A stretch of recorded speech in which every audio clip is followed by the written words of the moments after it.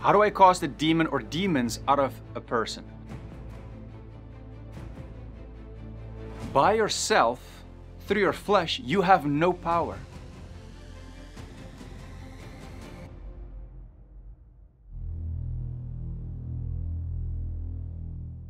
Hey guys, I got this question from actually a lot of you guys asking me, Daniel, how do I help someone who is demon possessed?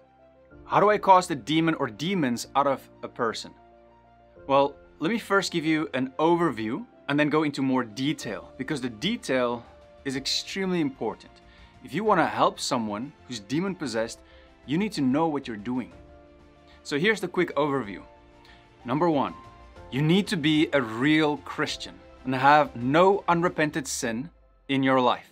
Two, make sure the person is really demon possessed and is not just a psychological problem or a health issue.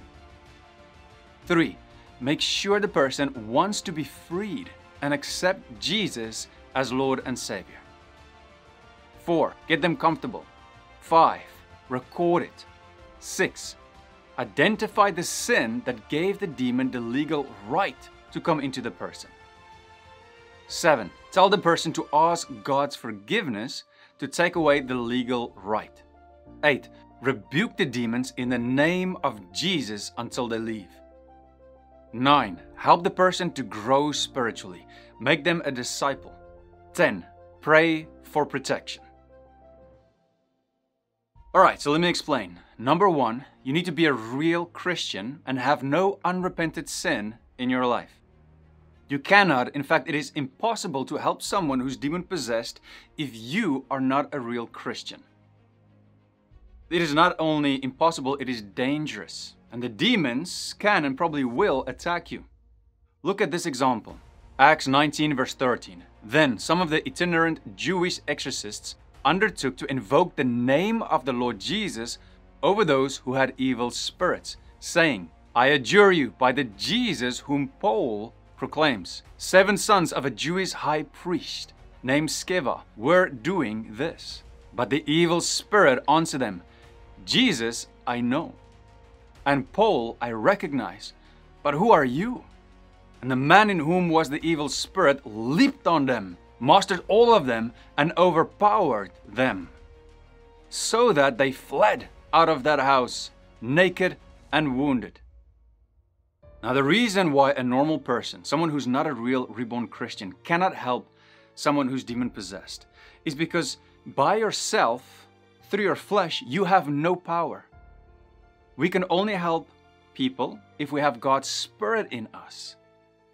Because we're in spiritual warfare. And we can only cast demons out through God's power, God's Spirit in us. And God Himself gave us the authority to do it. Luke 10, verse 18. And he said to them, I saw Satan fall like lightning from heaven. Behold, I have given you authority to tread on serpents and scorpions, and over all the power of the enemy, and nothing shall hurt you. And James 4, verse 7 says, Submit yourselves therefore to God, resist the devil, and he will, not maybe, will flee from you.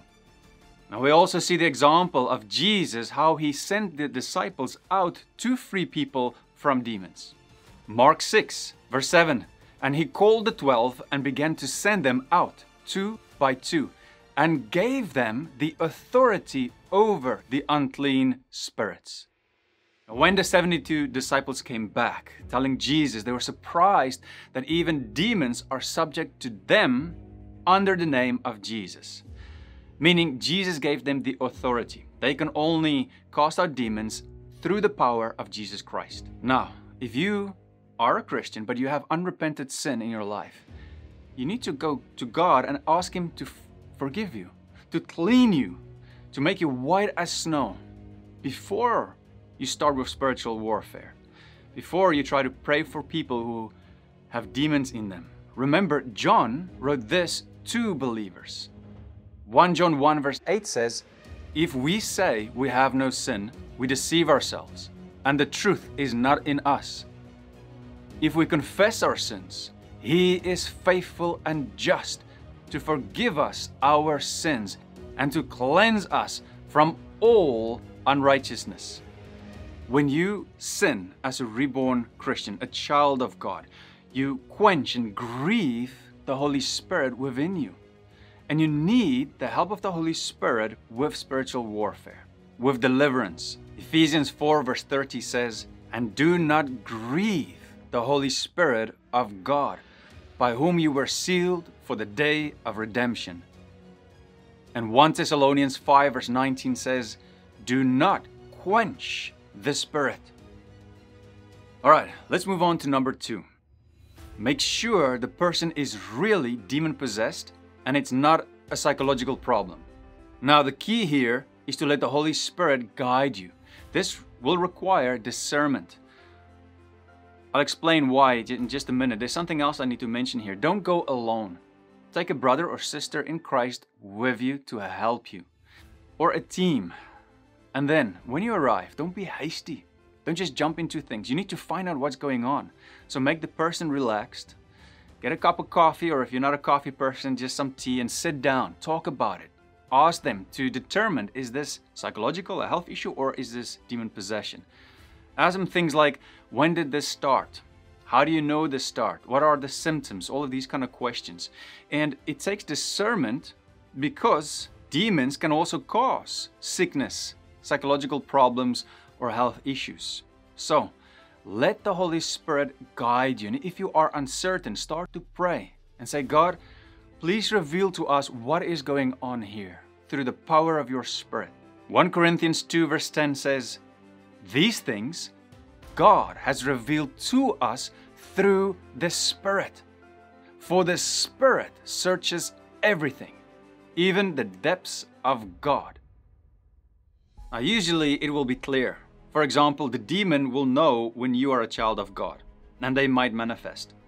Sometimes you don't even need to pray to, to really see what's going on because it's just going to be clear. For example, the demon might manifest and start blaspheming God and uh, might even tell you it's a demon and that it will not leave this house. The house meaning the body of the person.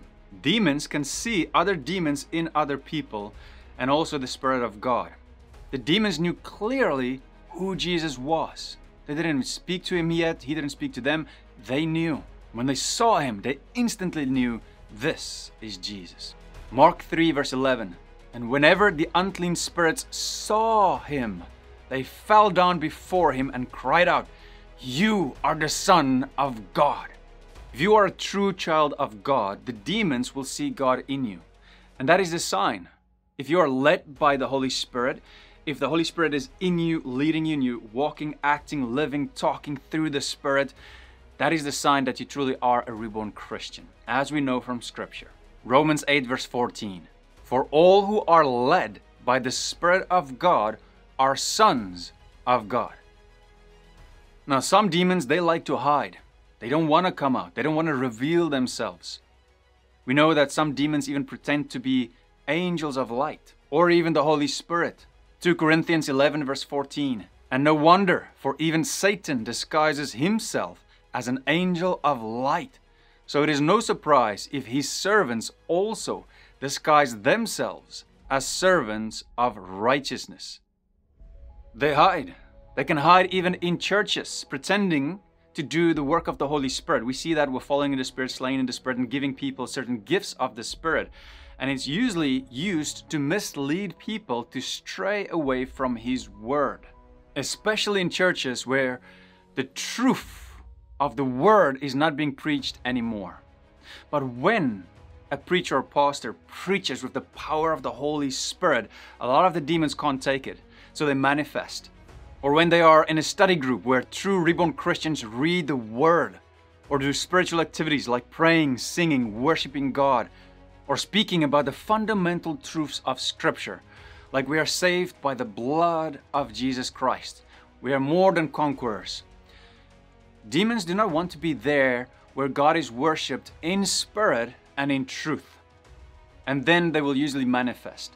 But even before it comes to just them taking over manifesting, they can make the person they possess very tired to fall asleep or they feel nauseous, wanting to vomit. So they leave the church. or get severe headaches in church, or when they really cannot take it anymore, the demon will take over the body and scream or try to run out of the church. Now, demon can cause severe health problems. Trying to keep this person away from the church, just keeping him in the house or her in the house. Do you remember the mute person who couldn't speak because of the demon? Matthew 9, verse 32. As they were going away, behold, a demon oppressed man who was mute was brought to him. When the demon had been cast out, the mute man spoke.